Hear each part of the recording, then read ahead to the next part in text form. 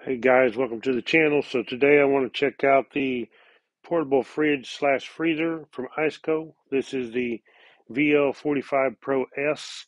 So this is a very nice uh, high-end fridge. It is comes in about 699 bucks, but I'm telling you, this is a quality unit. I've already checked it out quite a bit.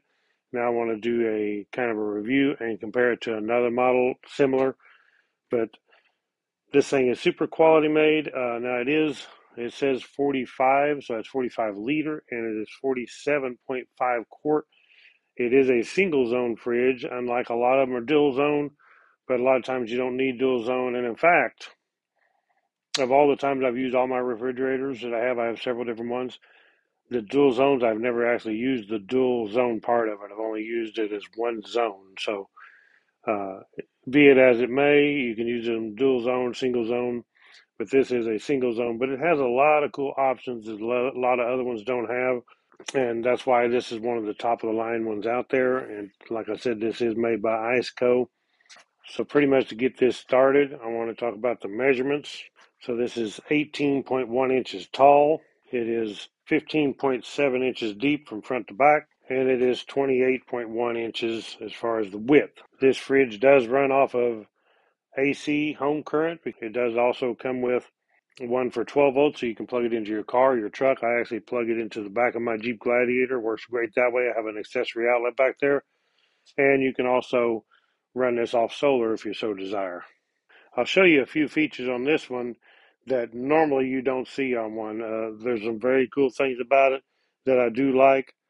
Uh, one thing about this is metal, so it is made out of like a steel housing on here. It does have plastic top and plastic corners, so it's very robust. Looks like some stainless screws here. Very nice. Has very nice handles. Looks like this knurled aluminum handle here. This plastic, and it folds up and down. Uh, it does come up where it don't uh, smash your hand. It's not like some of them that are spring loaded but the way it fits here, it's not going to flop and bang around with you at all. So very nice handles. So one thing it does have is a DC input on this side, so you can plug your power cord on one side or you can plug it on the other. So it makes it very versatile uh, for different situations where you want to put in a vehicle. You might want the plug on either side. This one will do that. So one thing also that makes this very versatile is the lid. The lid is really cool on this thing push it in, you can raise it up just like this. Very nice. Has a nice rubber gasket seal and a bead here to seal on, so it gets a nice tight seal. And then, so you can shut this lid, and then you can also open it from the opposite side. This makes it amazing. When you're in a vehicle, I've had them in there, and I want the cooler a certain direction because of the power cord. So that's the nice thing about the power cord being on each end. Or you want to be able to open it from one side or the other.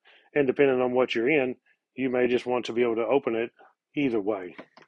So you can close it, open it this way, open it this way. And another cool thing for like when loading if you really want to have access, click both of them, this lid comes right off. How cool is that? You have full access to it without the lid on it. And these are nice stainless steel components here that lock it on, so it is built very heavy duty snap it on just like that and you're back to normal where you can open it up. Check this out. This is a very heavy made unit right here, no doubt about it. So as you know, a lot of these portable fridges, and this one is no exception, they do run off of a compressor in here. So this is just like your house refrigerator. It has a compressor in here and it does run off the R513A refrigerant. This is way better than using a cooler. In the back, old days, I used to use a cooler, throw a bag of ice in there, your ice melts, makes a big old mess, and your stuff gets wet. Also, when you throw a bag of ice in a cooler, you know, you've used up most of your space just by the bag of ice. Well, on these, you don't need that. You plug this thing in to 12 volts, you plug it into your house current, you can hook it up to your solar, you can run this thing in your RV, in the back of your truck, in your back of your car seat trunk, and you are ready to go. This thing just is just so simple that the old coolers with ice is a thing of the past. And for the price you pay for one of these, and you can buy some very expensive coolers that you can put in put in there, and you got ice you got to get for it, and you spend more on ice in the long run than you could just buy a good one to start with. So inside this unit, it does have a basket, and the basket comes right out nice and easily. Uh, this here will be the the accessories to plug it in. Haven't opened that box yet, but a basket so you can actually put this thing in your vehicle, load your basket up in your house with your drinks or your food or whatever. Take the basket out, drop it in, instead of having to lift this unit and it loaded full of food or drinks. You can just set this in there, drop your basket in when you get home and you're done. Whatever's left over, pull the basket out, take it in your house, put it in the fridge, and you're good to go. So on the inside here, you can see that it's very nice textured aluminum. Uh, this uh, unit here, this raised spot, this is where your compressor is underneath here, so it does take up some of your space, which all of them have this. Uh, if you're going to get one that has a compressor unit, this is what you're going to have. But your biggest space is right over here, and you can see there is a drain plug inside this unit. You just pull it out. It's got a rubber seal on it, so you can rinse this unit out. Put your plug back in, and on this side we do have an LED light. So when we have it plugged in, you open the lid, the LED light comes on. Very nice. It does have a little thing here showing some different things of preferable temperature settings you might want to set for water, drinks, juice, uh, wine, vegetables, meat, and tells you different things you can set it on. Okay, so as far as what comes in the little box, we do have the owner's manual right here. We do have our power cords. So we have a, this is like a very heavy cord. I've not, don't think I've ever seen one quite this heavy. But you do have a, your DC cord right here. So you can plug into accessory outlet and then this plug into your fridge. Then you're going to have your 110 volt cord. You can plug into your wall outlet in your house or into a portable power station. Uh, you also get some extra things. You get some a couple extra screws and a wrench. You can actually replace this handle if you happen to break a handle. It does come with an extra handle. I can't imagine one breaking. You'd have to be pretty abusive to do that. And it also does come with four new corners in case you break one of the corners, crack it.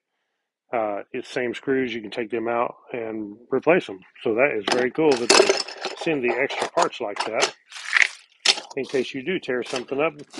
Maybe you never will, but if you do, it's nice to have that option. It also, in this package here, looks like it does come with an extra drain plug in case you lose the one that comes with it. So we're going to take this thing and plug it in. And uh, on this side, I do actually have a battery, a LiFePO 4 battery that I can plug it into to run it off of. This is a 1280 watt hour, so I had to run it for quite some time. And I'm going to use the plug on this side here. Plug it in just like that. We should have voltage to it. Okay, now on this side here, this is where we have all of our controls. So I do have it plugged in, but we'll turn it on here in a minute. All right, here we have another DC input plug, and this is one just like on the other side. So what I was saying, you can plug it in over there or over here, depending on your preference and your needs. This here is the AC outlet where we can plug in the 120 cord, plug it into your household current. Very nice. So there is just a cord. There's not a transformer built in line. You actually have just a cord and it's all built inside right here. Very nice. And then over here we have our USB. We have two USB outlets so we can actually charge cell phones and run a few things off that. Very cool. They had that nice water resistant uh, covers right here to keep the dust out too was really nice. So on here we have our power button, our max and eco button, our settings here. This is our plus and minus to change our temperature. So we should be able to just hold this button down to turn it on. There it's on. You can see the ambient temperature in here is 79 degrees. It's pretty warm in the shop right now. This here we have the max and eco mode. Hold that, we go down to eco. So what you would normally do is you'll start this out, you get everything cold on max mode. And then after you get everything cold to save energy, then you want to put it on the eco mode. Uh, the temperature range here, we can just select this minus button and we can go all the way down. Goes down to zero right there. If we hold it right here, we'll see how high it'll go up.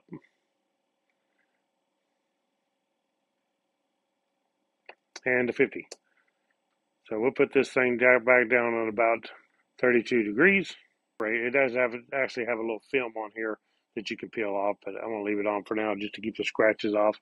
This is a very simple unit to operate. That's one nice thing about it. There's not a bunch of bells and whistles, and it's not necessary.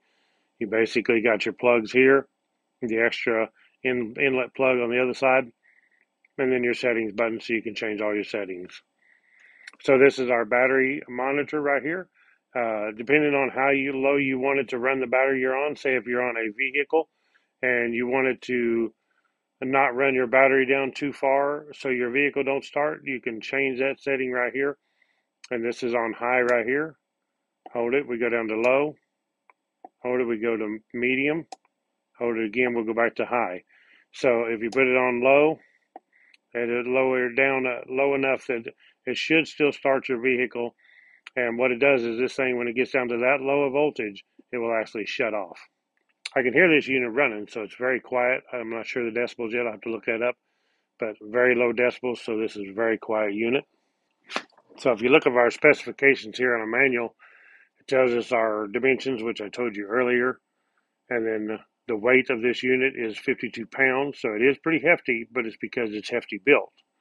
Uh, it is 47.5 quarts or 45 liters, and it tells you our voltage DC 1224 or AC 110 to 120 volt, uh, the refrigerant type, and it tells our temperature range, which is 0 Fahrenheit to 50 degrees Fahrenheit.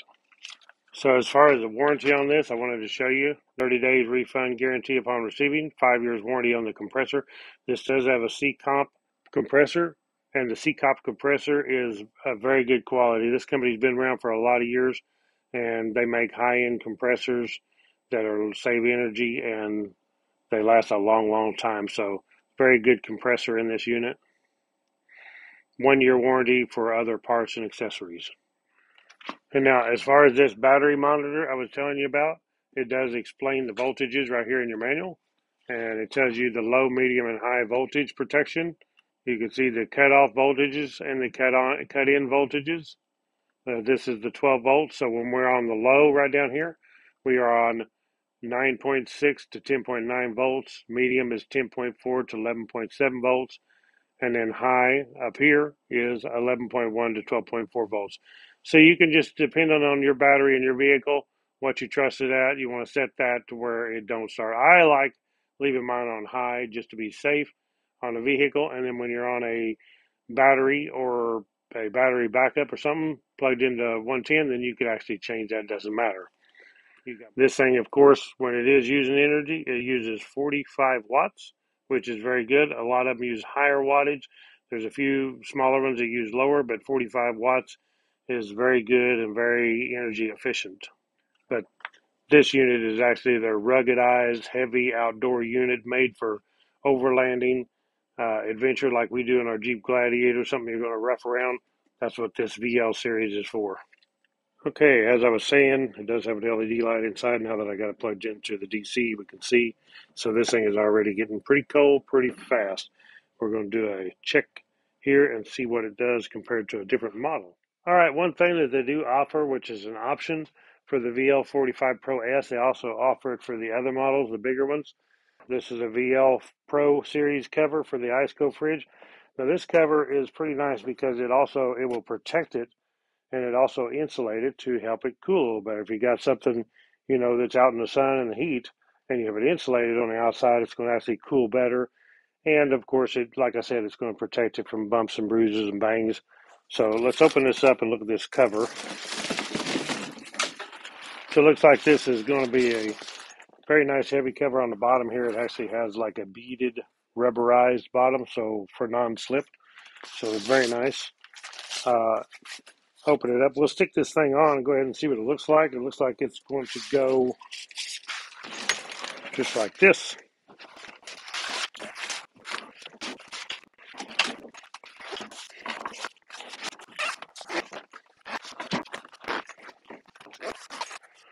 Okay, so this cover actually looks really good. It's actually a real nice fit. You can tell that it's insulated and padded, so it feels very good. Nice texture on the outside. Uh, easy to unzip easy to put on. It also does have a pocket here that we can throw our accessories in, which is nice. So now without it, you don't have that, but with the cover on, you do have a place to carry your stuff and keep them safe and keep them with the unit. Also, the handles do extend to the outside. We also have an opening for the DC plug on this side.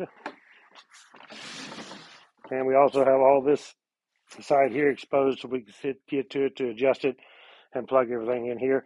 We also have some vents, vents for our compressor on front and rear.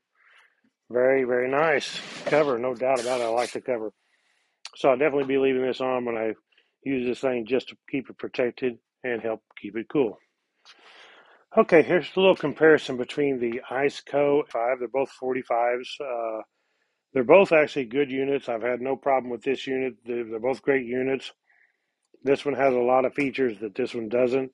This one will do a good job. Uh, there's surely a difference in price between the two. I'm not sure the price of this one right now um, because on Amazon, you know, the prices do change or on their websites. But there's a lot of different ways uh, to compare the two. I want to plug them in also and test them and see how long they take to get down to 32. I'll plug them both into the home outlet 110 AC and we'll turn them both on 32 and we'll see how long it takes them both to get down, which one gets there first to 32. So, pretty much when you compare the units, you got to compare uh, the build quality. This one's built out all plastic. It's all plastic top, all plastic sides. Has a compressor unit on the same side. Uh, this unit does have the Secop compressor. Noticeable difference is this one has spring-loaded handles. Like I was saying, on this one here, it does not have spring-loaded handles, but both of them will stop before they come up and smash your hand, so they're both good. I don't know that spring load is necessary. I think that's to keep rattle down, but these are stiff so they won't rattle anyway. This one does have aluminum insert, smooth. This one has a knurled for grip aluminum insert. This one does have the display on top here, and that one has a display on the side. Now, uh, to be fair, this is a dual zone. Uh, it is a 45, but it actually has a partition you put in here, and it's dual zone. You can you can turn on one zone to cool as freezer, one zone to cool as refrigerator. This one is just one. You can make it all freezer, or all refrigerator. This one has a dual zone. But now, for testing purposes, they're pretty much the same size, so I just want to use it as a single zone. I'm not going to put the partition in, and we'll just run it as a single zone to compare it against the IceCo. As far as the lids go, this one does have the plastic lid, the big plastic latch here. It does have a gasket, similar. Now, there is a gap in the gasket right here, so it's not totally closed. That should be. There's a little gap there which you would want to fix because you will leak some cool air out. This is the set power model right here of the 45. Uh, the lid on this one actually does come off and you can take the lid off like you can take that lid completely off and you can actually turn this lid around so it will go the other direction. So once you put it on like this, you can lock it down and use it like that one, both directions. So it's a little touchy there to get off, but once you get used to it, it's really nothing to it. And it does have aluminum hardware here to hold this on, so it's good built. And then once you get on, there you go, you can latch it down. So you can put it either way. The nice part about this one is because where you're at, you can open it from different directions. I mean, either direction, you can open up this way or this way. It's that simple. Grab it. It's that simple to take that lid off. So super, super nice and convenient as far as the lid. This one does have uh, bolted on corners that can be replaced. This one is solid all plastic, so it could not be replaced. It does have these sides here too that are bolted on. Uh, so, like I said, this one is steel side. This one is plastic, but this one does have plastic around it. As far as the size, like I said, they are the same. This one only has a your power on one side, which is your DC input, also has a fuse here. It does not have it on the other side, so that's one nice feature about the IceCo. You can plug it in from either side. I really like that. That's a thumbs up. Also, as far as plugging it in, if you look at the IceCo compared to the Set Power, the Set Power actually has a transformer with a 110 cord, and most units actually do have this. It has a Set Power, a transformer with the cord like that, and then you can also take and then you plug this into your fridge. So has all this to plug it in. The IceCo is extremely nice because it just has a 110 cord. Right here you have the 110 to plug into your wall. This plug in here, the transformer and all to run this is actually built inside the unit, which is very nice. And you just open this flap right here, plug it in, and you're good to go. So I do like that. As far as both of them, they both do come with a DC cord that you can plug into your vehicle, be it your car trunk, your car seat, or the back of your vehicle. Uh, they both can be run off solar. They both run about the same uh, watts. This is 45 watt. That's 45 watt. So pretty much the same thing. And as I said, this one has a dual display because it is a dual zone. But right now, we're just going to be using one. If you take out the partition, only one display lights up. Makes it into one unit inside. So we're going to plug these things in and see which one of them. It's pretty warm in here right now in this garage. And we're going to see which one of them will cool down to 32 degrees the fastest. Okay, so I've got these both set up here. I did plug them both into 110 volts, as you can see here. So they're both plugged into the same 110, uh, trying to make everything as fair as possible. As I said, this is going to be running on one unit, even though it is a dual zone. I'm going to power them on both same time. They are both set to 32 degrees, and I do have a timer here on this iPad, so we can just time it. I'll have to keep checking back every little bit. And when the get temperature gets down to 32, hopefully I hit it uh, pretty much on the spot. If not, we'll be pretty close. Get an idea of which one actually cools down the fastest. So we'll go ahead and power both these units on by holding the power button down. Okay, so they're both on and running. Immediately when I turned this ICECO on, there this compressor kicked on. This compressor immediately came on. This one here just kicked on, so it took a few more seconds, which is not a problem. They both actually had a delay. This one had a short delay. This one had a longer delay. So now we're both running here, and we are both on 32. Let me make sure we're both on 32 degrees. Uh, we'll start the timer right now. I'll be pretty close, not exactly to the second, but we'll get an idea of which one actually cools faster in the same ambient room temperature here. So we'll come back in a little while. Okay, so this is our first look. Looks like on our iPad we got 13 minutes 11 seconds. So we are 73 degrees on this one here. And over here on the ICECO, we are 65. Now, do notice too, I did make sure I put both of these in max mode, is what you would want to cool down faster. You can see, to be fair, they're both in max mode, not eco. So, actually, pretty big difference. We're 65 here now. We're 73 there after 13 minutes. We'll let this thing go. Okay, we're out here at 40 minutes. Just now, I walked out and it turned to 32 on the ICECO. We are 35 on the Set Power. So pretty darn close. I mean, this one's actually three degrees better as far as that. Let's check the temperature inside and see what they actually are. Hopefully this is pretty accurate. So inside here, we're showing 33 degrees, 34, depending on where we're at, 33.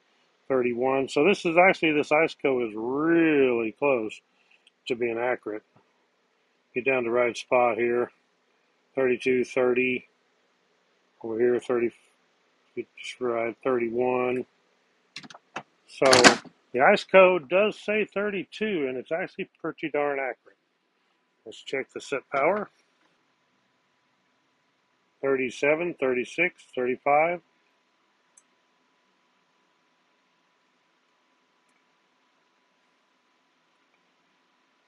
Over here it says 39, 40. Hmm. So 36. So this one is, does say 35, but it's not quite as accurate as, as this one, 35, 40. So that temperature says 35, but it's not actually as accurate. Quite the difference there. Uh, we'll see how long this set power does take to get to 32. Let it go a little longer. Okay, so just now I noticed that the set power dropped to 32. We're at 45 minutes, so about uh, five minutes difference. Uh, this one's still main in 32 on the ICECO. Uh, let's check this and make sure what the temperature is inside. So it says 34, 35, 33 down at the bottom, 34. So this one, uh, the set power is good. It's not quite as accurate as the ICECO. The ICECO is pretty much spot on. When it says you're 32, you're going to be 31, 32. Very accurate. Uh, so that's the difference between the two as far as running them on uh, 110 wall outlet. I'm running them. I ran them to see how long they would go. About 40 to 45 minutes. It takes both of them to get down to uh, 32 degrees. You can see that coat is still 32. They're both still maintaining 32. Pretty darn good. Okay, guys, it is time for the ultimate test. I have had both units outside. They've been out here for two hours.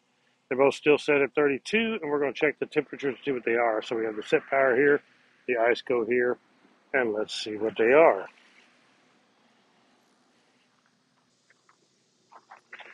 Okay, so we are at 37 degrees on the set power. It's hard to see, it's kind of flickering, but it's not flickering here, it's just showing that on the phone. But it's 37 degrees, as you can see. Let's look over here on the ICECO. We are 36 degrees. So, quite the deal, quite the test. I was glad I did that. I was thinking, well, you know, they, they do pretty good inside. Let's see what they actually do outside. So, not a lot of difference, uh, one degree difference between the two. They've been sitting out, like I said, for two hours in the sun. All right, so that was a good test. I'm glad I did that. I wanted to see what they would actually do outside in the sun because there's going to be times when you have this in the back of your truck or sitting out at the camp and the sun gets on it. You want to know uh, what they'll do in the sun. So, as far as the set power, and this is 90 degree temperature out here, it held not too bad, 37 degrees when I have it set at 32. Uh, 36 degrees, so a degree cooler on the ICECO. Uh, not too bad. The, that's off four degrees, and we're off five degrees here. You can't expect them to be out in the sun at 90 degrees and actually keep it exactly 32. So there's going to be a little difference. Every one that I've ever tested is the pretty much the same. A lot of them don't do this good, but I mean, as far as the temperature being off, they're never right down there accurate. Okay, so I've let this thing sit outside for two more hours, and I actually, as you can see, I put the cover on that I showed you earlier. I want to see what the difference is with the cover. Uh, the temperature has come up. It's actually 91 degrees now instead of 90. So we shall see what the difference is here. It's like somebody shooting a gun. 34 degrees, are you kidding me? That's actually pretty good. I'm surprised that it actually did that good. So it dropped two degrees difference just by putting this cover on, and you got to realize the temperature has went up to 91 degrees. So that's pretty impressive. Very good. So the cover definitely makes a difference to have that insulation out here when you're in the sun like that.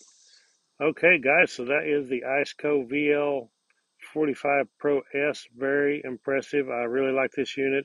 You can see I compared it to another unit that's uh, actually comparable, and the results uh, to me, the ICECO is definite winner between the two. Um, the ICECO is, I'm sure, is pricier, but you know how it is. You get what you pay for, and ICECO is really good quality. They have a super uh, good quality compressor on this unit, and so this thing is something to definitely look at. I really like this, and I will do a later review on this thing after I've had it some time. We take it out overlanding and see what happens. But thank you guys for watching. Check out the link to ICECO below where you can check these out. And like I said, they do have larger sizes than this, and they have a different models that actually is in the smaller sizes. So thank you all for watching. Click the thumbs up, subscribe to my channel. Catch you on the next one. Right on.